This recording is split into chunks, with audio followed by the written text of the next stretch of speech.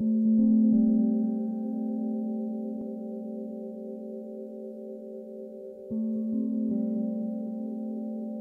mia città ci sono tante persone, persone che vivono, sognano, persone che passano la, ro- la loro vita tranquillamente al meglio delle loro possibilità. Poi sono per- altre persone, a volte più fragili.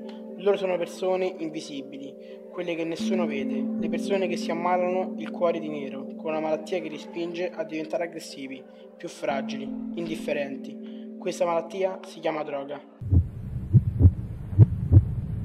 Nel mio quartiere ci sono ragazzi che spacciano. Il loro unico obiettivo è fare i soldi, farne sempre di più, per potersi poi a loro volta comprare della droga. Farebbero di tutto pur di far leva sulle debolezze degli altri.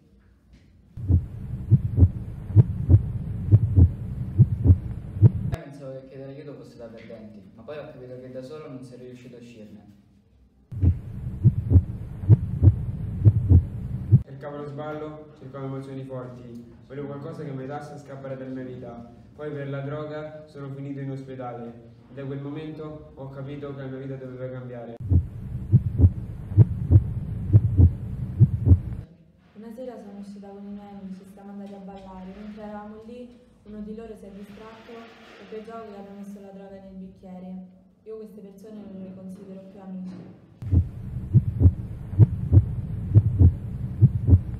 Perdevo il controllo, non riuscivo a stare con le persone, mentivo a tutti e non riuscivo a smettere.